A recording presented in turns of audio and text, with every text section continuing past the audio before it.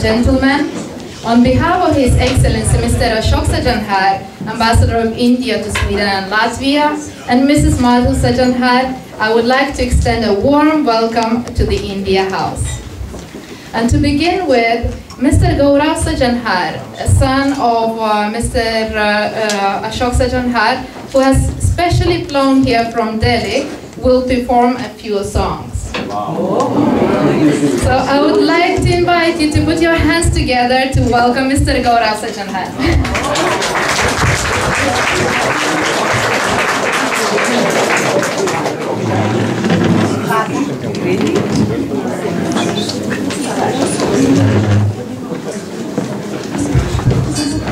Thank you. I don't think I've ever played in front of such a distinguished audience, but I'll do my best.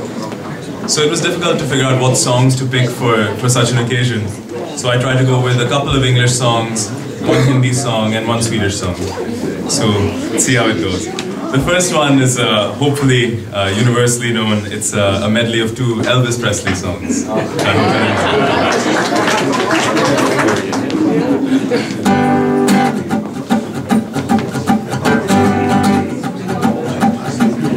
Well, it's one for the money, for the show, three to get ready now. Go, get going, don't you step on my blue suede shoes. Well, you can do anything but lay off of my blue suede shoes.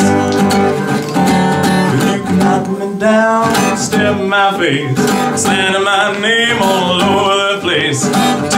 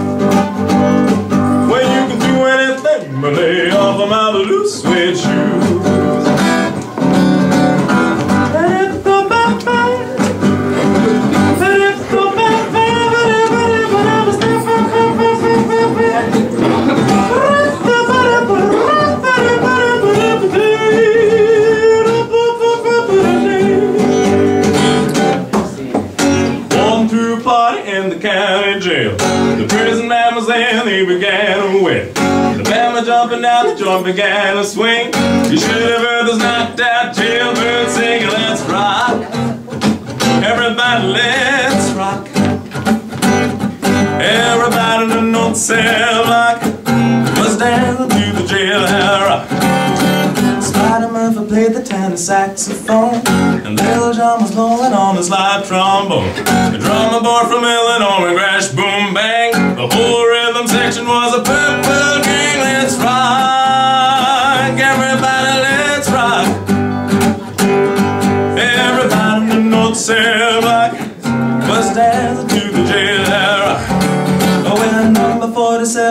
number 3 You're the cutest jailbird I ever did see. I sure will be delighted with your company.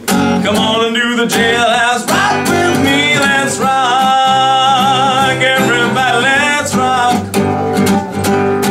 Everybody in the North Cell block. When we're rocking all around the clock. In Stockholm, we're not gonna waste a drop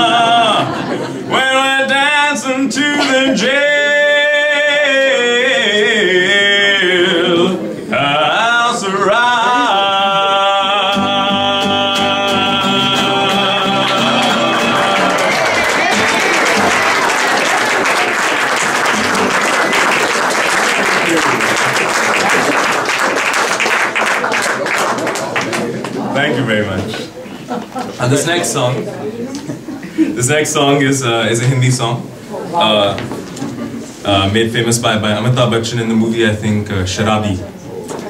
It's called uh,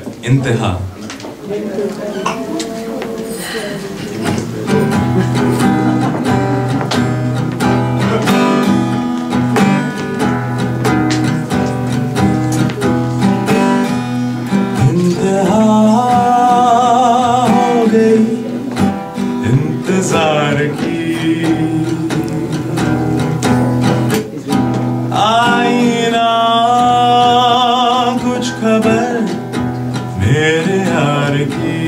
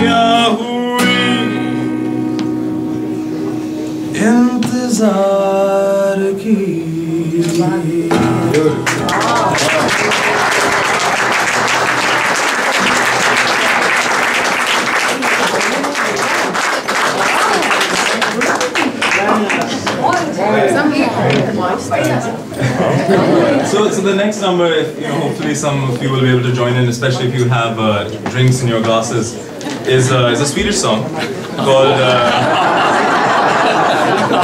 which, which I think you may have heard.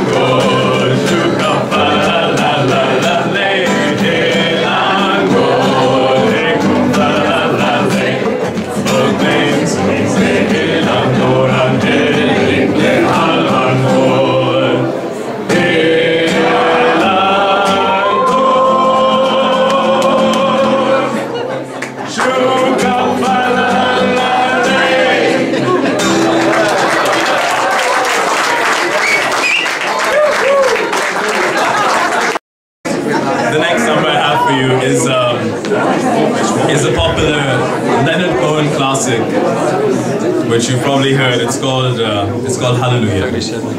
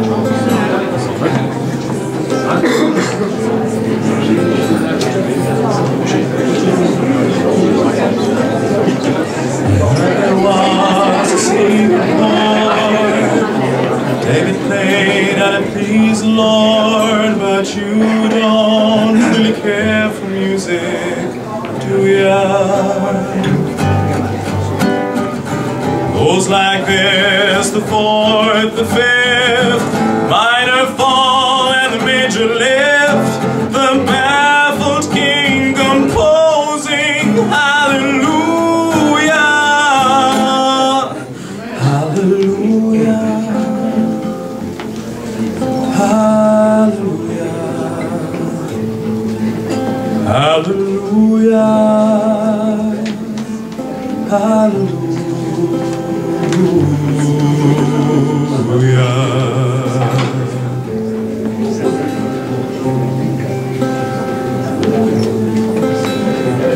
Faith was strong, much needed proof. I saw her bathing on the roof, her beauty and the moon overthrew ya. She tied you to the kitchen chair, broke your throne and she cut your hair, and from your lips she drew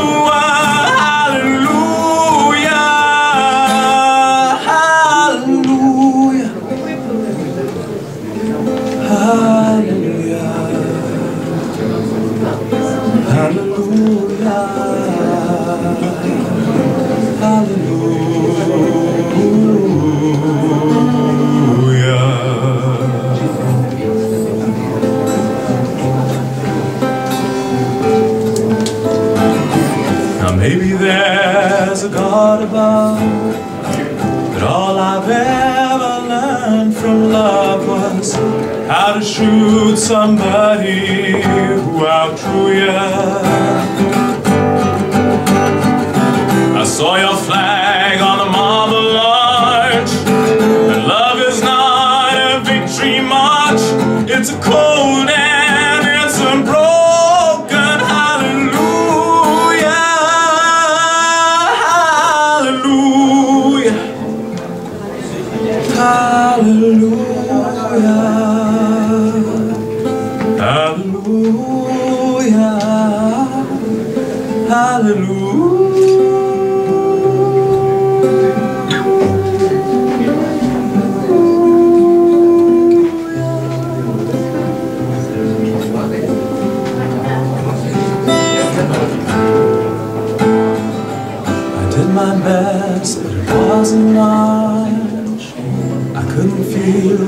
tried to touch.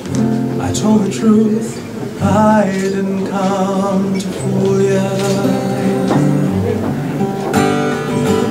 But even though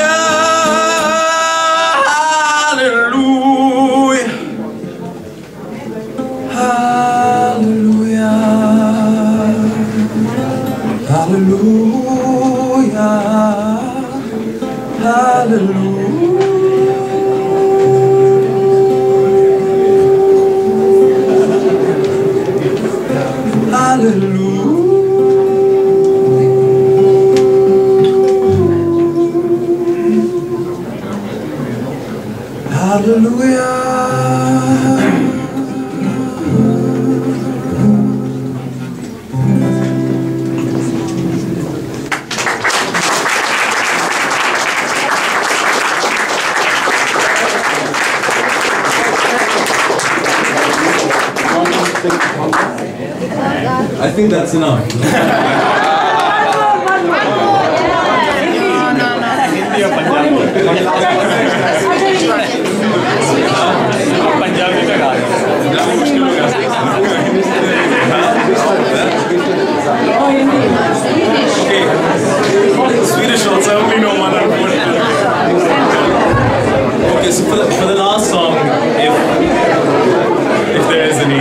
need, need for that, it's a song of farewell.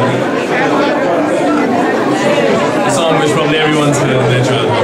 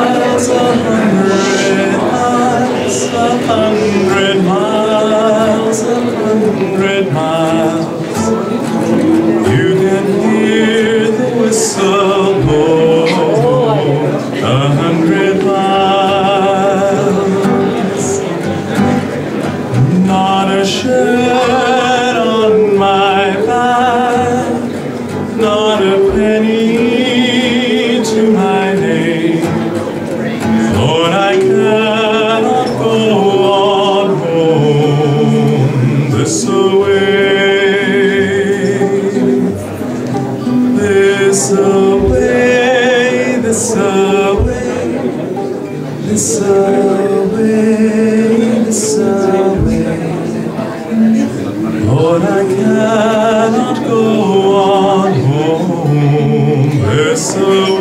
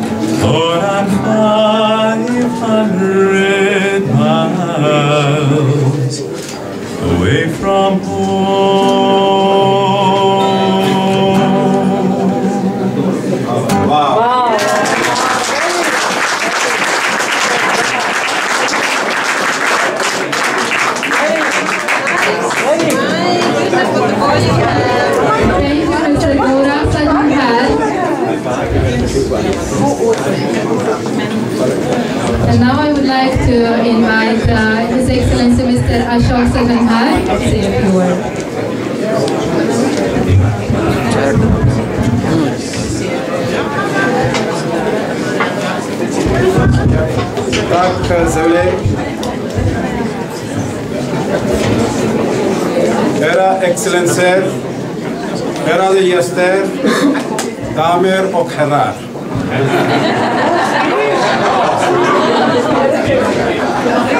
Ja, ook mijn hustro Madhu. Oh. Varmt välkomna er till India House denna kväll för att säga stort tack för vår fantastiska tid här i Sverige.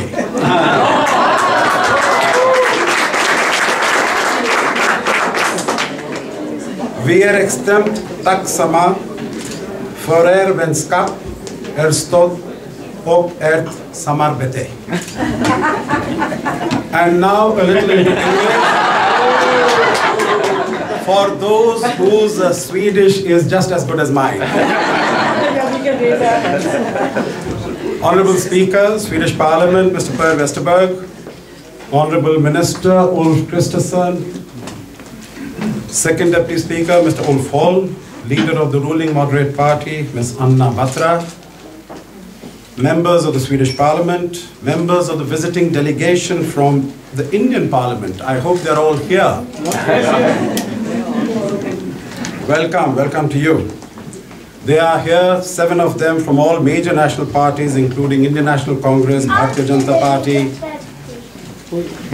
Trinamool Congress and others, members of the Royal Court, Supreme Commander General Sverker Göransson, Ms. Margareta Björk, Mayor of the Stockholm City Council, my ambassador friends, members of the Indian community, distinguished guests, friends, ladies and gentlemen. Let me say what a great pleasure it is for both Madhu and me to welcome all of you here this evening. I have much to say, much to share with you because uh, we leave in a little less than two months from now and we've been here for a little less than two years.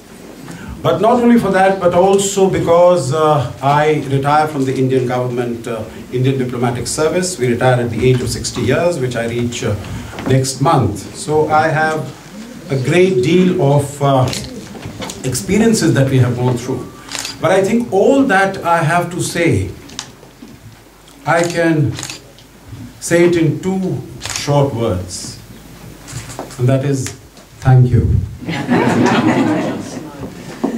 So I would like to emphasize that in big, bold capital letters, a huge thank you to each and every one. I think we have uh, a great deal to be thankful for and a great deal to be uh, to appreciate, as I guess all of us here have. We have indeed been uh, very lucky, very fortunate, and very blessed to have been through the 34 years that we have spent in the Indian diplomatic service, to have been in places which have been most interesting and most exciting. We were, for instance, uh, in Iran in the early 80s when we had uh, the aircrafts of Saddam Hussein coming pounding the cities and bombs falling on both sides of our house. But there were, of course, uh, very many more interesting and pleasant experiences. We were in, uh, again in uh, Moscow, the capital of the Soviet Union then, in early 80s, when we saw the last few years of uh, President Brezhnev and the rise of uh, Solidarnosc and Lech Walesa in Poland. We were also again in Moscow in the late 90s when we saw the uh, fading away of President Yeltsin and the rise of, uh, at that time, Prime Minister Putin. We were in Washington, D.C. when we had the game-changing uh, uh, India-US nuclear deal that was signed between Prime Minister Manmohan Singh and President George Bush. We were in uh, Brussels when uh, we launched the strategic partnership between India and the EU, and we launched the uh, free trade agreement negotiations between India and EU. And I'm very happy to inform you, Mr. Speaker and Mr. Mats Hellström, I know you have been Minister of Agriculture and Trade, etc., that the India-EU FTA should be signed hopefully on the 26th of June. So in another 13 uh, days, so to say. So we've been working towards that. Uh, I was in uh, Geneva when we negotiated for the Uruguay round. And even though I had moved out, I was told by my government to go back and negotiate for India. So these have been phenomenal experiences. It's been a great journey. It's been a momentous journey. It's been a memorable journey all through. It's been a stimulating and an inspiring, inspiring voyage all these 34 years. And uh, of course, uh, for that, uh, we are extremely grateful. We have seen in this 34 years also, I've seen it in front of my eyes. India was at one time regarded as a land of famines and disasters. Today, it is looked upon as a land which holds promise and potential for uh, peace, security, prosperity, and development, not only for its own people, but for the world in general. Uh, I would like to say a few words about our stay in uh, uh Sweden, which has been truly remarkable. We have, uh, we of course go from here with a heavy heart, with uh, much sadness, but also we go from here with a feeling of great satisfaction and contentment because uh, both for personal reasons and for official reasons. Officially, I think we take uh, pleasure and uh, pride that our relations between India and Sweden are ready for takeoff.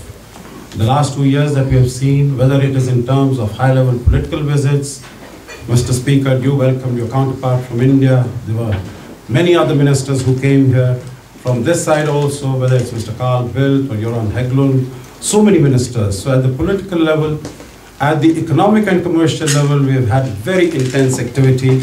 At cultural level, education, scientific, every sphere, we have made very good progress. And none of this would have been possible without the unstinted support that we have received from our friends and collaborators and partners in Sweden. So I'd like to take this opportunity to thank each and every one of uh, you, each and every one who's present here. Mr. Speaker, you, all the representatives, ministries of foreign affairs, enterprise, energy, environment, etc. We wouldn't have been able to come where we are if we had not uh, received this uh, total support. At a personal level, let me say that uh, we have been able to travel all over the country, whether it is uh, Kiruna, we saw the Ice Hotel in Jukkasjärvi, the Tree Hotel in Jokkmokk. I think many of our Swedish friends have also not visited the Tree Hotel, but we took great pleasure in being there. We have uh, uh, uh, been uh, uh, exposed and we have deeply appreciated the great Swedish traditions and some of them we are going to take back with us, whether it is the concept of fika. or it is the concept of Jantelagen, which uh, I know is uh, are so very strongly responsible for the innovative and creative personality. And we have, of course, been exposed to the very unique and incomparable uh, cuisine like the surströmming. Uh, this is one thing which I think will be difficult for us to carry with us. Yeah. all the others, I think we will take it as a part of our uh, experience here. We have been uh, very lucky and very fortunate, as I said, notwithstanding the traditional uh, Swedish reserve, to get a large number of friends. And we have the great pleasure and privilege of welcoming so many here today. And uh, we will, uh, of course, we leave our friends here, but we will carry with us their uh, warmth, their love, their affection. And of course, it'll be our uh, endeavor to stay in touch. So a very big thank you to each and every one.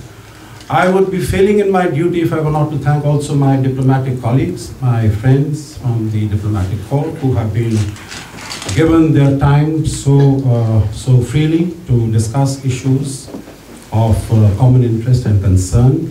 I would also like to thank the members of the Indian community who are here and who have been such active and strong bridges of friendship and cooperation between uh, between yes we, we really start young in the embassy. So uh, my indian uh, uh, friends and colleagues uh, lastly i would like to convey my deep appreciation to my colleagues and my team from the embassy again who have been uh, so very active in all uh, our initiatives taking all our initiatives forward and uh, one of them is leaving uh, tomorrow, Rajiv Edwards, who is here. And then, of course, my personal staff, uh, Zivile, who has been such a pillar of strength for both my wife and me. And uh, as they say, uh, the best for the last, my family. Particularly my mo- uh, mother. She has been a true partner in every sense of the word, not only in her capacity as the president of the Diplomatic Women's Club here this year, in which she was uh, remarkably successful, but uh, she has uh, been by my side wherever we have been, from Dhaka to Tehran, from uh, Geneva to Bangkok, from Moscow to Washington. So I truly appreciate it, and she is my most uh, severe critic. she is my best friend. She is my most ardent and committed supporter. Thank you.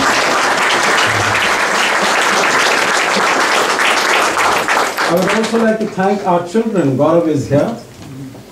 He has come uh, just a few days ago. And our daughter, Anuradha, she is in Delhi. And uh, I thank them and we are proud of them. Not only because of their achievements in academics or in artistic pursuits, as you have yourself witnessed today, but more importantly, because both of them are compassionate, generous, kind, and loving human beings. So thank you. So once again, a great pleasure to welcome each and every one of you. And we are, after a short while, going to throw the uh, uh, buffet open for some Indian dinner and Indian cuisine. But it's such a great delight to see all of you, all of our friends.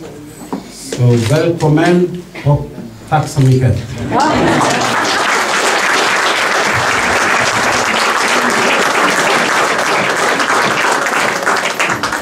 Thank you, Ambassador Sajjanhar.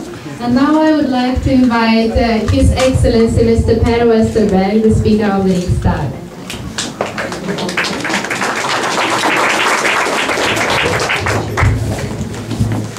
Thank you very much. Mr. and Mrs. Ambassador, Your Excellencies, ladies and gentlemen, I would like to express my gratitude to His Excellency Mr. Ashok Sajjanhar for inviting me to this farewell reception. It has been an honor to collaborate with you during two dedicated and successful years here in Sweden. I have especially the great pleasure of attending cultural events hosted by you here in Stockholm. However, yes, I can also understand why you chose to leave Sweden to return to India for retirement. Your um, diverse country offers a range of climates, and to be honest, Sweden sometimes feels like it's stuck in an eternal state of a winter.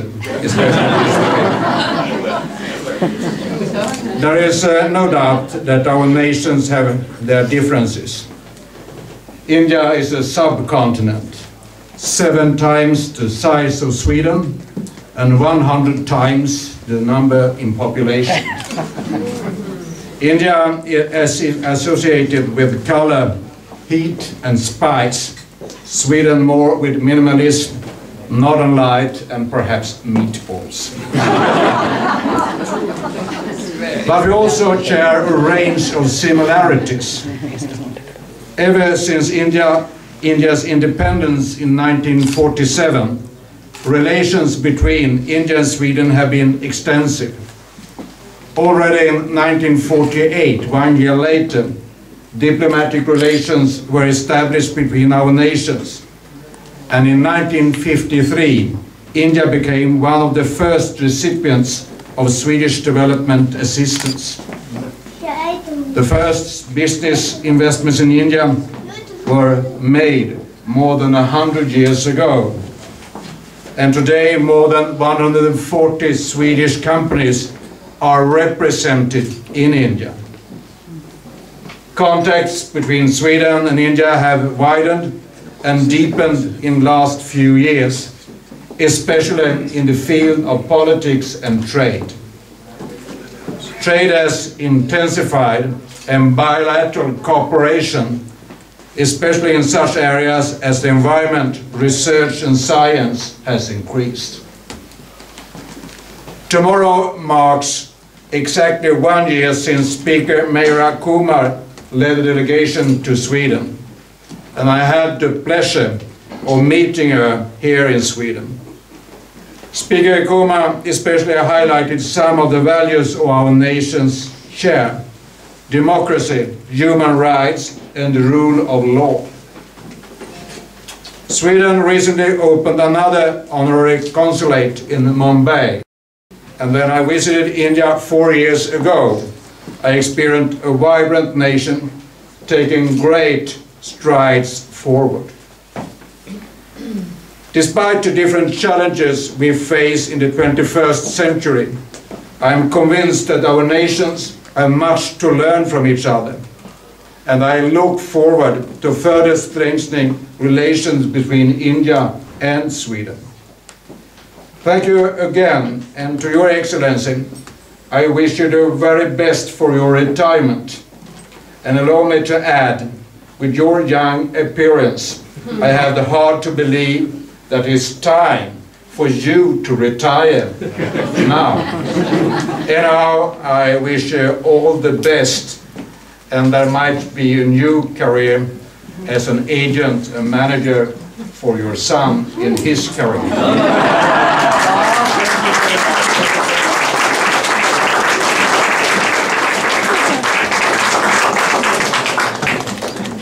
Thank you, Your Excellency. Uh, now I would like to invite uh, Her Excellency Ms. Uh, Margareta Björk, the President of the Stockholm City Council.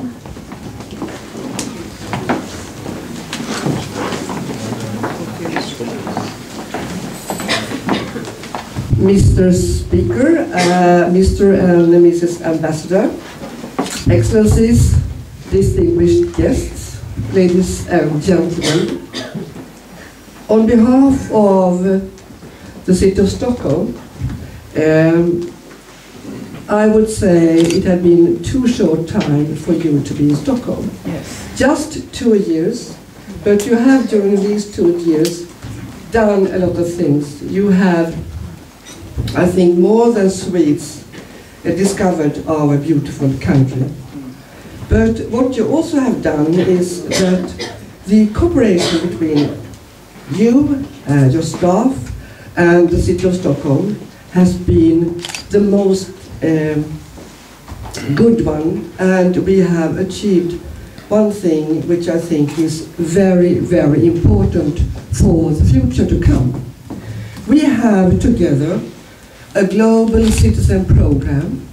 We have in Stockholm about eight to ten uh, upper secondary schools where the pupils go to India and the Indian pupils come here to Stockholm and they live in Swedish families, they attend Swedish lessons And, And as, eat Swedish meatballs.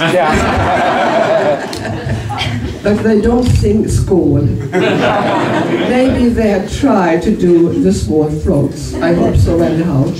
But I have had the opportunity to meet those uh, Indian youngsters here in Stockholm and to listen to, to them and to hear what are their, what kind of experiences have they with them back to India. And also I listened to this, our uh, young people from Stockholm uh, going to India and they all said it's uh, an experience of that the global world is not that big as before.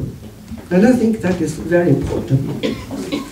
So now when you go back to India, I think you will be a new Swedish ambassador. not paid by the government. but I know that you have a lot of good memories from this country and we wish you from Stockholm good luck. And I don't think either that you will retire. and I know I will see you in January. And I also would like to gratitude your beautiful uh, wife because she had done a good work with the International Women's Club.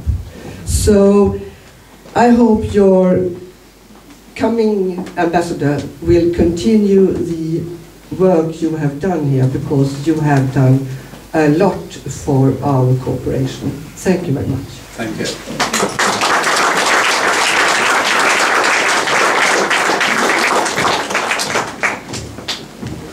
Thank you, Your Excellency. And now I'd like to invite uh, Her Excellency Ms. Anna Kinberg Batra from the Sweden's Parliament.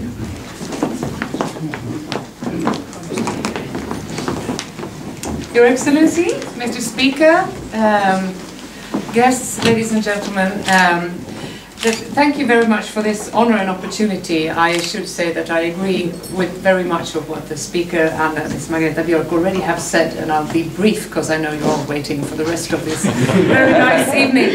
Uh, but thank you very much, uh, dear Ashok, and let me also stress the importance of um, the cooperation between our countries. I think it has improved a lot over the last few years. I started to get to know India about 10 years ago, and it used to be described by, for example, your pre predecessor, Mrs. Uh, Deepa Gopalan uh, uh, with, um, she told me that the, she got the impression that the Swedish perception of India 10 years ago was all about 3C.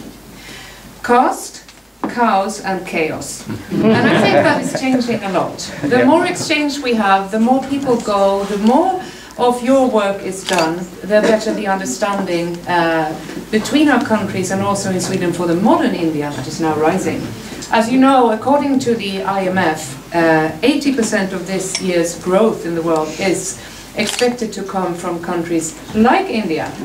There may be reports of uh, slowing growth, uh, but we sh- should still all envy India, I think, if you look at the economic development.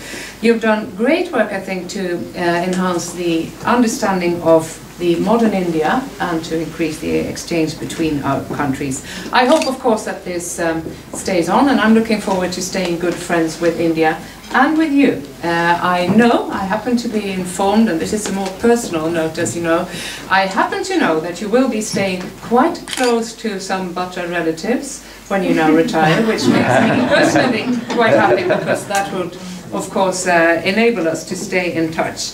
Uh, I also, as the speech, speaker already touched upon, and as was quite obvious uh, earlier this evening, I also would like to thank you for get, giving that extra personal touch to representing your country here in Stockholm, especially culturally so.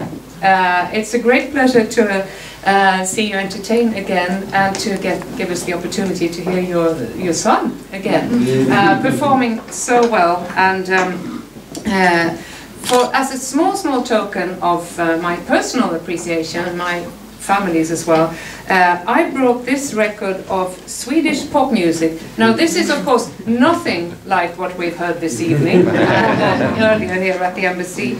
Um, but it could perhaps symbolize uh, some of the work that's been done between our countries. This was a compilation done uh, at the moment of the Swedish presidency in the EU, where also Sweden and India worked very well together, EU and India worked very well together, and where culture was used to enhance the cooperation between the regions and countries.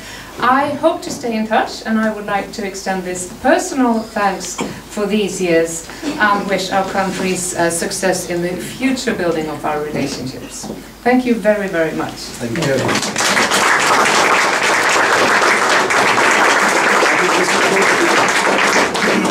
Rightful recipient. He is the one He's who- so much better than everything. Absolutely, absolutely. Very well, thank you very much, uh, Mr. Speaker. Thank you very much, uh, uh, Mrs. Margareta Björk, President of the Stockholm City Council. Thank you very much, uh, Anna.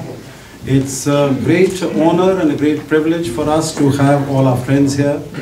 You have uh, come here, of course, for us, and we are deeply grateful for that. But I'm sure, as has been repeated, you've also come for India, which, like Sweden, is a factor of uh, peace and stability and prosperity in the world.